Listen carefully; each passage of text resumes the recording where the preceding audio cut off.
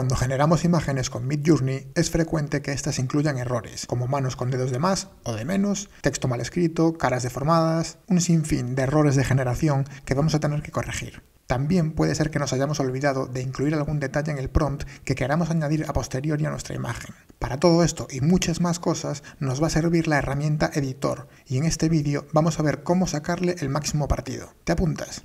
Bienvenidos a Pic Graphics, yo soy Rafa y este es vuestro canal en español sobre inteligencia artificial generativa y creatividad con Midjourney. Sin más, vamos allá con Aprende a dominar el editor en Midjourney. Si ya eres usuario de Midjourney, te habrás encontrado muchas veces con estos errores de generación que se producen por la forma en que la IA crea nuestras imágenes. Casi siempre que queremos un prompt y generemos imágenes, aunque en un primer vistazo nos encanten, en cuanto nos fijemos un poco, vamos a ver cosas raras. A Midjourney le cuestan algunas cosas más que otras. Si tenemos una escena con varias personas, es frecuente que veamos algunas caras deformadas o extremidades imposibles. Si estamos generando texto, es muy probable que de primeras Midjourney nos lo escriba mal, sobre todo si se trata de más de una palabra. Para eso tenemos el editor que nos aparece al entrar en la vista detallada de nuestra imagen en la columna de opciones de la derecha. Si clicamos, entramos en el editor, en el que vamos a ver una barra superior de herramientas y nuestro prompt a la derecha con una serie de opciones debajo. Lo primero que vamos a comentar son las opciones de cambio de formato. De forma muy sencilla, Midjourney nos va a permitir cambiar el aspect ratio, las proporciones de nuestra imagen, reencuadrarla, aumentarla o reducirla. Para sacar el máximo partido a este aspecto del editor, os recomiendo que este tipo de cambios de formato los hagáis una vez que tengáis la imagen definitiva y en su versión upscale en máxima resolución, porque os dará mayor libertad de movimiento y os permitirá aumentar o cambiar el formato más libremente por su mayor resolución. Este tipo de cambios de formato es muy útil si vais a utilizar vuestras imágenes en diferentes redes sociales para que se puedan ajustar a los formatos de cada una.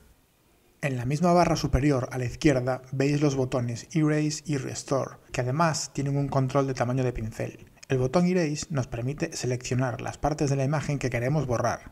Si le damos al botón Submit, Midjourney nos generará cuatro nuevas imágenes en las que solo va a regenerar lo que esté dentro de ese área, conservando el resto de la imagen original intacta. Esto se utiliza, entre otras cosas, para corregir esos errores que os mencioné antes. La mejor forma de utilizar esta herramienta es ir corrigiendo un error de cada vez y una vez solucionado pasar al siguiente hasta que al final los hayáis arreglado todos. Si nos equivocamos al seleccionar, tenemos el botón Restore que nos va a permitir deshacer la selección y refinar la zona que queremos regenerar. Como siempre con Midjourney, todo es cuestión de iterar, tener paciencia e ir avanzando paso a paso. En esta serie de imágenes podéis ver el proceso seguido para corregir los errores de una imagen. Si tus imágenes son para uso propio, para inspirarte o para usarlas de referencia, no necesitarás que estas correcciones sean tan exhaustivas. Sin embargo, si vais a usar esas imágenes para publicarlas de forma profesional, venderlas o para vuestros clientes, mejor que le dediquéis tiempo a revisar y corregir vuestras imágenes para evitar sorpresas o quejas. Esta misma herramienta nos va a ser útil, aunque no haya errores en nuestra imagen, para hacer cambios en partes concretas de ella sin alterar otras. Por ejemplo, para probarle diferentes modelos de gafas a un mismo personaje, peinados o calzado, siempre sin alterar el resto de la imagen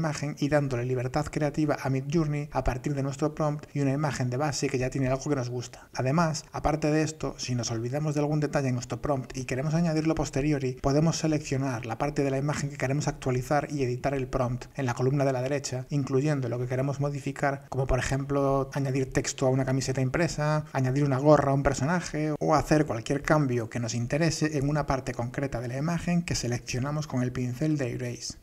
Dedicándole tiempo vamos a poder perfeccionar nuestras imágenes gracias a este editor e incluso tener versiones diferentes de una misma imagen con pequeños cambios gracias a esta herramienta. Si os habéis fijado, veréis que en la derecha tenemos un enlace que pone Open in Full Editor, que nos llevaría al editor avanzado de Midjourney, que como comentamos en la guía de iniciación, solo está disponible para usuarios con suscripciones anuales o aquellos que ya hayan generado un mínimo de 10.000 imágenes. Sin más, eso es todo por hoy. Espero que os haya gustado este vídeo y os haya resultado útil. Como siempre, no os olvidéis de suscribiros y dejar en comentarios vuestras dudas y sugerencias. Nos vemos en el siguiente vídeo.